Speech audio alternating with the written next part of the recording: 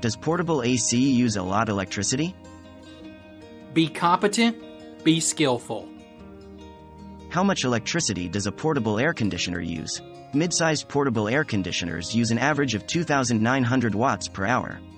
Particularly large units can exceed the electricity usage of even central air conditioners, expending about 4,100 watts per hour.